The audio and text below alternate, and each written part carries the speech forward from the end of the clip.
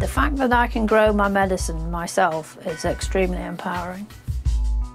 There's no other way to describe it. I've done this with a seed and a bit of soil and just some love and attention.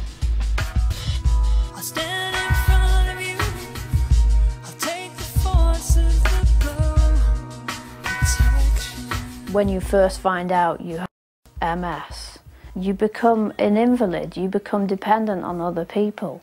It's a hell of a shock. Pins and needles, aching, pain that's like streaks of lightning shooting down your limbs.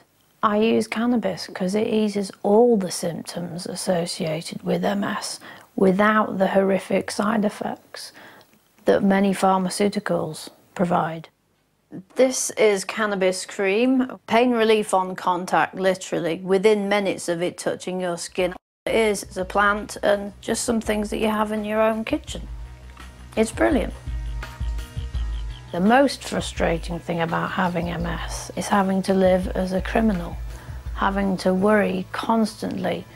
The police are going to come to the door early in the morning and arrest me, take all my medicine, and send my body into horrific shock. It is so essential to my quality of life, I can't put it into words.